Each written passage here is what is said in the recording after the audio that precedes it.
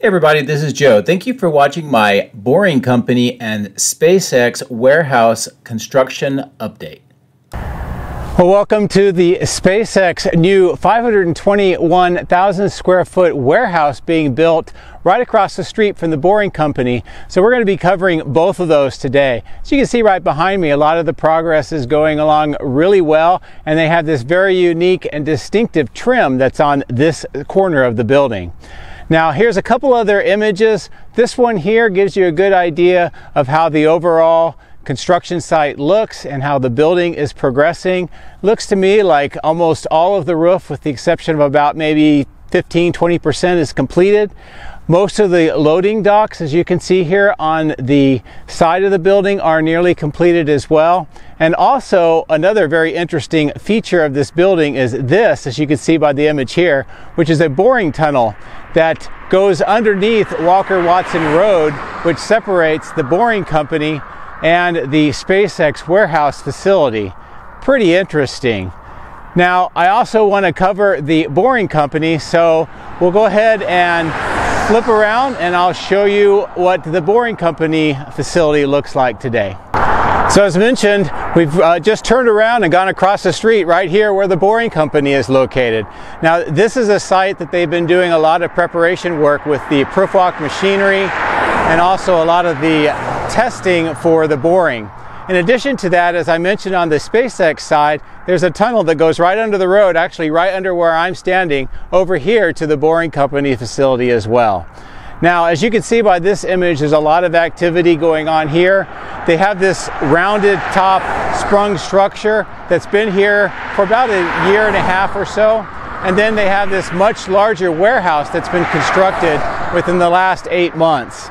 So it's very interesting to see the activity here at the Boring Company and how close it is right across the street to the new SpaceX warehouse facility. So I hope that you enjoyed this video and this tour around to see some of the progress in these two facilities.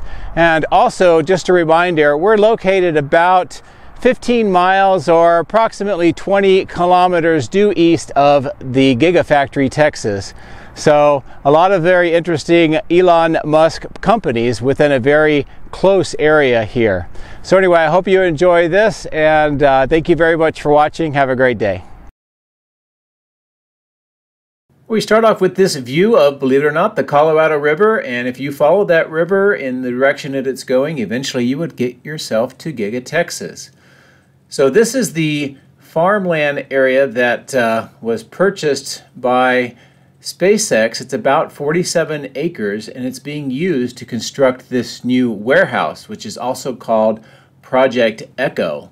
And uh, as you can see, it's definitely making a lot of progress. This began construction uh, late spring, early summer of this year, and uh, its main structure is almost completely finished by now. Now on the left-hand side is where most of the receiving docks are located, although there are some, as you can see here at the uh, um, base of this particular wall.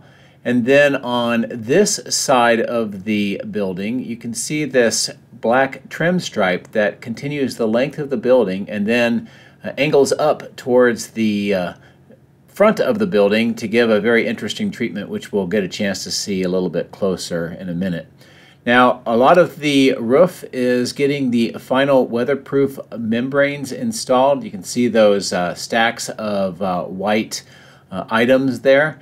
And uh, the rate that they're going, I would say that by the first of the year, they should have those pretty much installed. Now, as I mentioned, this is how that black stripe uh, kind of bends up to this corner and then uh, bends back down towards the front of the building. So quite a pretty interesting uh, uh design element of this particular building, which uh, really helps it stand out than the typical uh, white square box kind of structure that you normally see. Now, on the bottom left-hand side of the screen is actually a boring company tunnel that goes underneath the road and emerges over at the Boring Company facility. And I'll show you a little bit uh, more of that in a bit, uh, a little closer up. But here on this side of the structure, you can see the material staging yard, also where the vehicles are temporarily parked.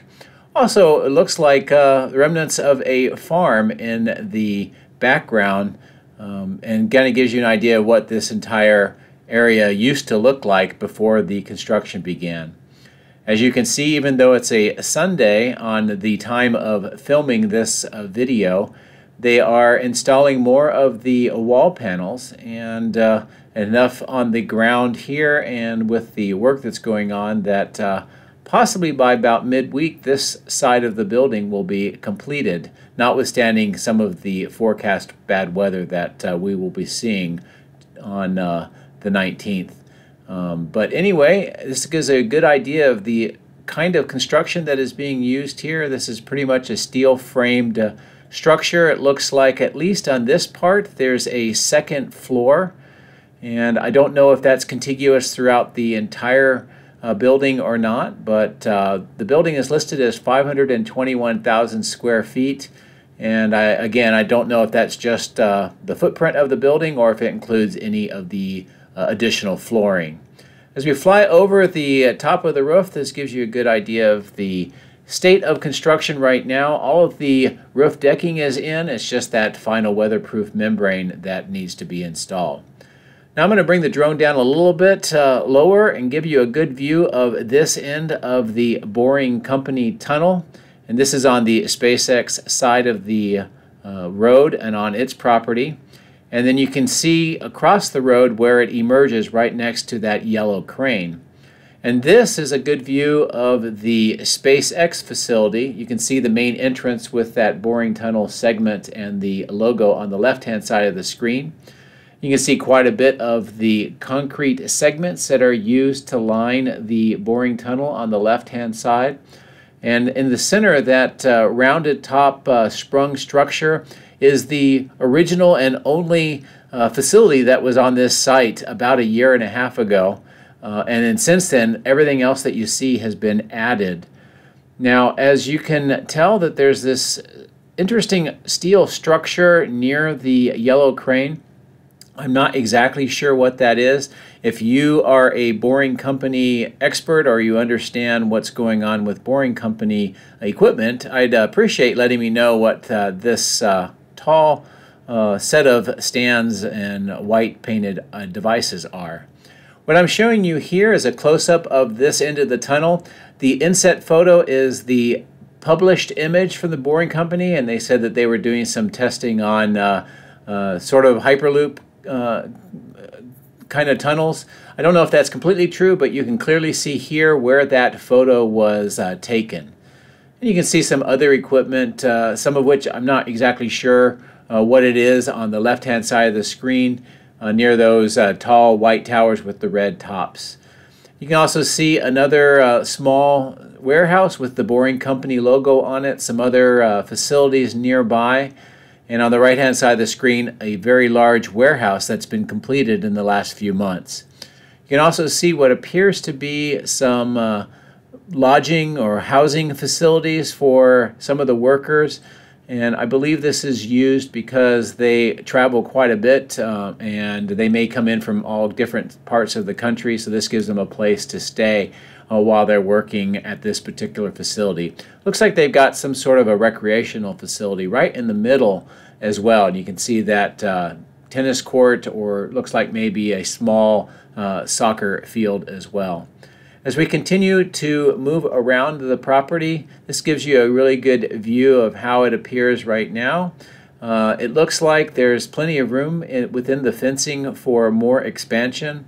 And as I mentioned, this new hangar or warehouse was completed in the last few months and uh, uh, gives them quite a bit more of the uh, ability to work inside, which is uh, probably well appreciated by the workers.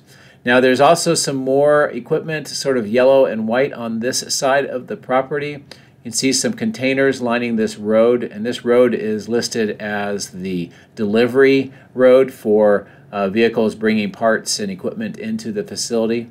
And this is a good view just looking at the uh, uh, warehouse on the left, this uh, rounded top sprung structure, and the rest of the uh, facility uh, as well. So anyway, this is a quick tour of both the Boring Company and the SpaceX sites here in Bastrop, Texas. This is located on Walker Watson Road.